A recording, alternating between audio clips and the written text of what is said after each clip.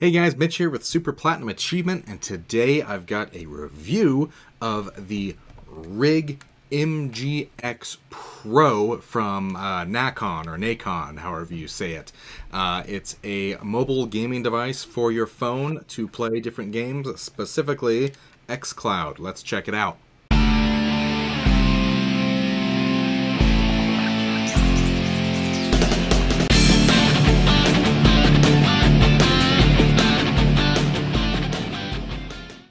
First off, guys, if you're new to this channel, go ahead and smash that subscribe button down below. It helps us out a ton.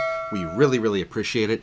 Also, at the end of this video, if you liked what you saw, go ahead and give us a big thumbs up. We appreciate that as well. So diving in here, we've got the MGX Pro from Nacon, the Rig. Um, and this is an updated version. I kind of did a review on the last version in my ways to play uh, Game Pass on your mobile device, and this wasn't out yet when I did that video, so I'm going to review this one separately. So let's take a look at it here. Um, first of all, you're going to notice it looks like an Xbox controller. It's got the Xbox button, it's got more of the Xbox form factor. Uh, right off the bat, it's so much more comfortable than the last version. Uh, it fits in your hand like a controller, and it feels great. Obviously, the downside to that is it's not as uh, slim and sleek and easy to carry around. It's like carrying around a controller plus some because it's a lot wider. Um, and it's got uh, some springs here, so you just do that, whatever phone you got, it'll fit. So we just take my phone here and just pop it in there.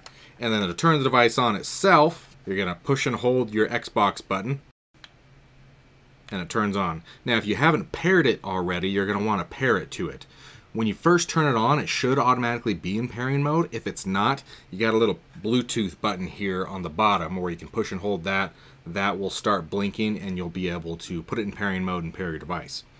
So uh, when you're holding it and you got your screen in here, it looks awesome. So you see I got uh, Game Pass pulled up here. Um, feels awesome, and I was super excited. The analog sticks feel great. Um, it's supposed to have an awesome battery life as well. It says 20 hours of battery life. Um, I only charged it up once, haven't charged it since. Uh, I haven't played a ton on it, uh, but I did get some good playing time in, and it hasn't died yet.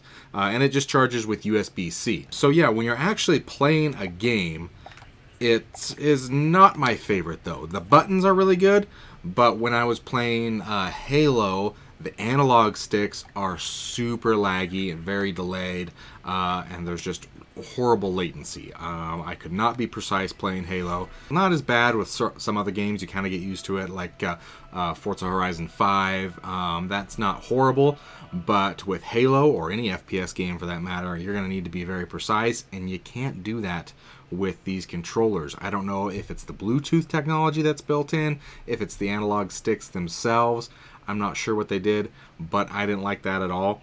Um, and then from the last model, if you uh, watch that video, I said that the uh, uh, triggers, the LT and RT, were uh, awful. They were super stiff and didn't feel good at all. This is a huge improvement on those, and I mean huge improvement. Uh, but I don't think it makes up for the lack of the analog sticks being responsive. Like I said, everything else about this is great.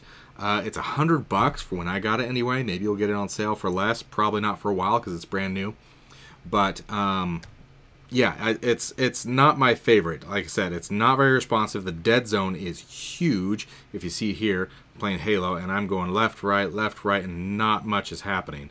You have to go quite a bit, especially to the left, I feel like back and forward and side to side seem like it's a little bit more responsive, but still not great. I mean, it's not the worst thing in the world, but if you're playing, I went back and forth from this to the Razer Kishi, and the Razer Kishi I feel like was quite a bit better with the analog sticks anyway, which are very important. So, like I said, super disappointing uh, with that factor. It, it, it's just a bummer because it's built very well. It feels great. Like I said, I did play with the Kishi. I paired an actual Xbox contro controller to this, and it did control much better. This had more issues than those did. And um, if you're in the same price range. The Razer Kishi is actually less. I will say it's not as comfortable, and the uh, triggers and buttons don't feel as good, especially the triggers. But the analog sticks are more responsive, and it just works better. Probably because the Razer Kishi is wired; it plugs into your phone instead of Bluetooth, However, like I said, pairing an actual Xbox controller is still more responsive, and that is through Bluetooth, obviously. So I'm not sure what the issue is. Maybe they'll have a, uh, a firmware update for this eventually that'll fix it. I'm not sure but uh, I'm not super impressed for the price tag. If it was more around the $60 price range, like you'd pay for a, a standard controller, then yeah, maybe I'd be like, all right, this is pretty good. But for $100, $100 uh, I don't really recommend it. So for right now, unfortunately, guys, I'm going to have to give the Rig MGX Pro a three out of five. It's just not living up to what it should be, especially being licensed by Xbox.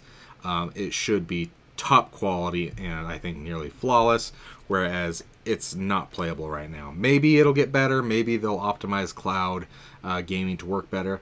But I did cloud. I also did remote play, and there wasn't much of a difference there. Still wasn't responsive if you're used to playing on the console, especially where it's super responsive and way better, then you're going to be really, really disappointed playing this way. So, three out of five is what I'm going to give this guy for now. Um, I might give it a little bit more time, see if something gets better, see if they release a firmware update. But for now, I would hold off, and I still recommend the Razer Kishi far and above this.